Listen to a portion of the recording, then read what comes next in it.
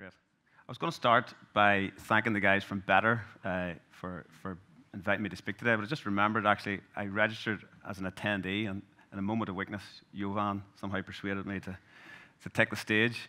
Uh, but thanks nonetheless. Uh, should introduce myself. So my name is Alastair Allen, and I'm the CTO for healthcare in Kainos. Just out of interest, stick your hand up if you've heard of Kainos. Interesting. More than usual, about half the room.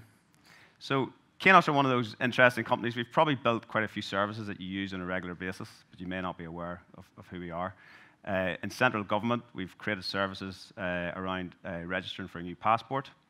Uh, if you've still got the patience and uh, you plan to register to vote in one of the upcoming elections, we've built that service as well. But outside of central government, we've been doing a lot in healthcare also. And there's three areas that, that we work in that I want to talk a little bit about today. The first area is we work centrally with NHS Digital, and we've helped to design and build uh, the new NHS app. Uh, it's been rolled out uh, across England currently. We work regionally with CCGs and STPs uh, with a shared care record platform, and with over 30 uh, trusts uh, helping them in their digital journeys. And across all of those projects, we've had the, the, the, pleasure of working with a range of different healthcare standards. and watching as, as our journey has iterated uh, over time. And it all really started back for me in, in 2008 with our first customer. He asked us to help them digitize uh, a whole bunch of paper that they had. We created a solution. The initial version of that was a single monolithic uh, application. Uh, and for any techies in the room, there's nothing necessarily wrong with that. But probably less good was there was no APIs. Uh, the data was held in a proprietary format. But we quickly moved on from there. And in 2012, uh, the iPad had just been released. We were in the middle of the, the mobile sort of revolution. revolution. Uh, we created our first set of open APIs, uh, and we started our interoperability journey. I use that word carefully. Uh, I know some people, as Ian referred to earlier, get a bit sensitive about that. But for us, it was, it was certainly the start. Open, open APIs uh, that could be accessible uh, by all credentialed applications. And after that, we started moving on. We broke down our, our, our monolith, if you like, into smaller uh, microservices. Uh, and we went live in 2016 with our first uh, FHIR application. Uh, and we used FHIR for both exchanging data and also storing data. And since 2016, we've worked on quite a number of different applications across those different areas that I've uh, just talked about. And we're starting to see uh, needs emerge where that's pushing far, I think, uh, in, certain, in certain places. And I'm starting to, to come around to this opinion more so that we need to be looking at combining these two standards together, like uh, was talked about with the previous guys, to really create a, a, an open data platform and, a, and, and, an ecosystem that's uh, interoperable. And I think when we, when we talk about openEHR and, and FHIR, quite often it's, it's complex, it sounds, uh, there's a lot of hype around it, it's, it's, it's confusing. And in fairness, that probably isn't helped by uh, annoying people like me that write these silly articles uh, with inflammatory headlines, making it out to be two separate things. Uh, and I think if, I was reading this earlier when I was, when I was coming across in the plane. Uh, it's a great article. You should definitely check it out. But uh, if I'm honest, I probably thought when I wrote this that it was two separate things. Uh, and I thought they would probably take their own paths. And I think what I've learned over the the, the last number of years is that increasingly uh, that's not the case. Uh, increasingly, I see the two working together. So what I wanted to do was just take a couple of the use cases that I've worked on, uh, describe what they are, and maybe talk a little bit about the challenge and, and what I see the opportunity uh, being going forward. The first one is, is one that will be common to, to many people here. This is the, the traditional uh, messaging-based architecture. You've got different source systems represented at the bottom. This could be any standard uh, uh, or any proprietary data format. The messages are sent to an integration engine, which sends that on to, to other interested parties. We've done a, a lot here with FHIR. Uh, we've, we've translated probably all the, the, the, HL7 v2 messages. And this, this works really well. Uh, I think there is a place for openEHR, which I'll come to at the end in this, in this architecture. But on the whole, exchanging data from A to B, typically a summary of that data works really well. The other application then is, is really this, this model, uh, which I've called facade here, which for any non-technical people in the room is really just a, a layer that uh, gets rid of all of the complexity of a source system. I think this is probably the most common implementation of, of FHIR that, that I've seen looking around what other vendors are doing, essentially putting a, a FHIR API on top of an existing database. Uh, the data is still held in a proprietary format quite often, uh, but on the whole, this works quite well. We're starting to provide open APIs and, and move towards interoperability. But it's this last case that I probably want to talk a little bit more around, and it's the persistence model. And this is where you've got uh, top to bottom uh, FHIR. Uh, you have an application that communicates over FHIR APIs, uh, which in turn stores the data natively in the FHIR format. And you, you, look at it there, and it all looks really quite simple. Uh, everyone's talking the same language. What could possibly go wrong? Uh, I think it probably depends on your use case, but some of the challenges that, that I've started to, to see and, and, and looking forward, the challenges that I do see are, are around and come no, to no surprise for any, anybody that's worked with openEHR, is it's the richness of the data model. This idea of the maximal data set when compared to the, the 80-20 rule that, that FHIR provides. Uh, I think you know probably a classic example is, is an observation. In, in, in FHIR, you've got a single observation resource. In openEHR, that's expressed uh, through a range of different archetypes uh, that have been designed by clinicians for that particular use case. So FHIR works well when you're exchanging, in my experience, is summary information, but when you need to store that uh, broad data set, you need a more robust uh, data model to support that. The second challenge is then around analytics and business intelligence. And I think if you look at the people that uh, typically perform this function, they're skilled in, in probably uh, SQL or SQL. Uh, whereas what you get with FHIR is typically a range of APIs. It makes it quite difficult for those people to interact with the data being able to express through AQL and openEHR gives you that ability to, to for those people to uh, really uh, do what they do and have done for many years without uh, a lot of other education. And in case, obviously, there's any FHIR uh, advocates in the room, I know that you can achieve a similar outcome with FHIR, but I think it's trying to identify what's the right tool for the job for the case in hand. This idea then, we've talked earlier, and Tomas described uh, the idea of, of, templates within, within Open, openEHR and being able to uh, express for that transaction or that use case that you're capturing what the archetypes are, the attributes that are represented within that. The really, again, you can, you, there's ways you can achieve this in FHIR, but it, it becomes really uh, a lot more complex, uh, and you don't get the same benefit uh, that you can do with, with openEHR. And finally, FHIR for me is still very much it's, it's, it, it is emerging, it is changing, uh, and keeping up with that change is, is, difficult, especially when you store the data in your database. Uh, if HL7 come out with a new version, there's a migration that you have to do or another translation that you have to do.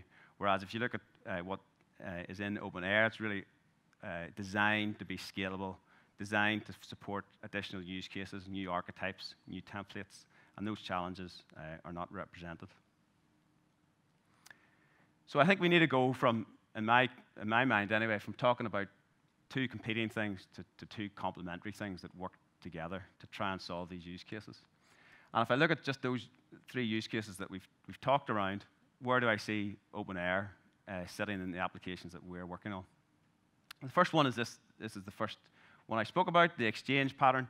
I think when you're exchanging summary data between uh, organizations or applications, FHIR for me still works really well.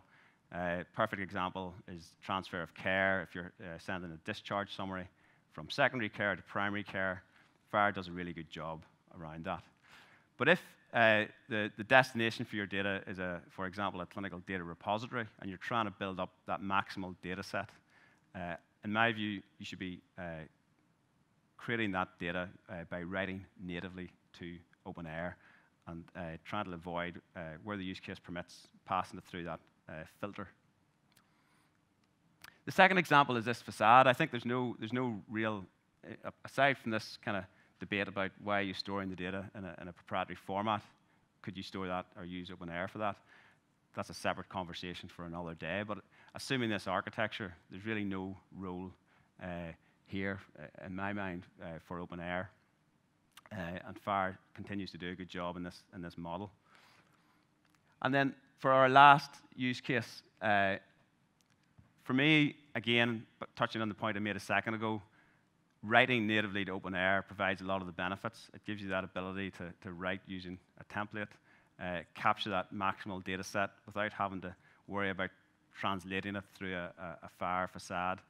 Uh, and that's something that, that I think adds a lot of value. But in terms of pulling that data out, uh, FHIR is uh, increasingly uh, uh, on the uptake. Lots of applications uh, and third parties are using it. And for me, when we build applications, I think reading that data back and expressing that in a FHIR format is important. Uh, being able to support an ecosystem of applications that all talk the same language is also important. And for us, we want to eat our own dog food, uh, as the saying goes, and be able to, uh, in our applications, still be able to uh, represent that using those FHIR APIs and building some sort of translation to, to translate that from, from openEHR. So I think I've touched on this. Uh, this is really uh, the, you know, the summary. I'll, I'll skip past that uh, for the benefit of time.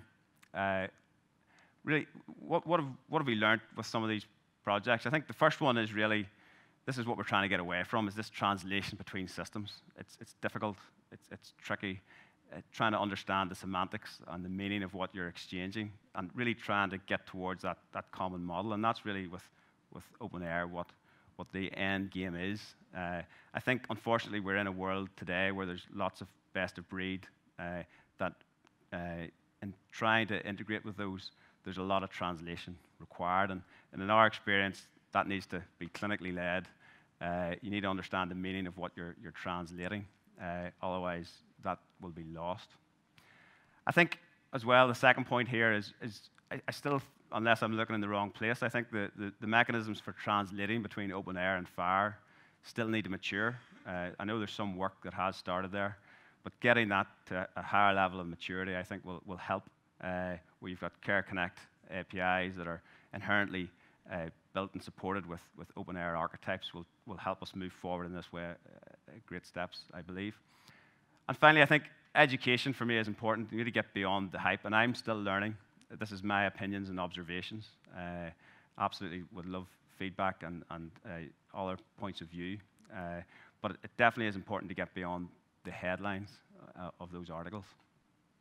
So, in summary, to wrap it up, uh, really for me, I see these as, as two complementary standards, not competitive. Uh, and to combine both uh, will allow us to create an open and interoperable uh, ecosystem uh, for all of our organizations. Thank you.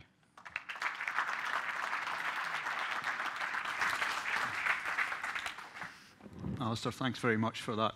Great presentation. Um, we have time for a couple of questions if people want to, uh, to pitch in.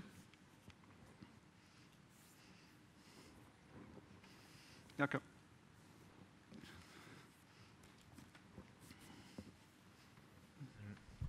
Yeah, you talked about the translation interfaces, and in the previous presentation we heard about the mapping from openEHR to FHIR, and like if you look at FHIR resources, they have mappings to HL7v2, HL7v3, but we don't see anything of openEHR there.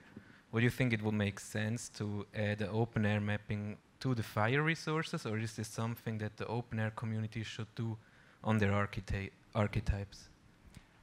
Well, I, personally, for me, I think it would be great to work for both communities to work together to essentially create this similar thing to what you mentioned between V2 and FHIR. Uh, how do we get that between the archetypes mm -hmm. and, and the likes of Care Connect FHIR profiles? Uh, Who do you think should be responsible? Uh, well, I think everybody's responsible. You know, I think uh, getting involved in Interopen is a good place to start. Uh, that's a community that has representatives mm -hmm. from both both standards. Uh, it's a good place to start. I think looking finger pointed back at me, we probably need to get more active uh, in that as well uh, and trying to bring these learnings uh, to really practical use cases. If I might just add to that, so my company, one of my companies, Innodis, we did some open source adapters like that. And I think, I think the opportunity that we have to think of, certainly as a broader openEHR community, but certainly in the UK, is how much of that can we do in common.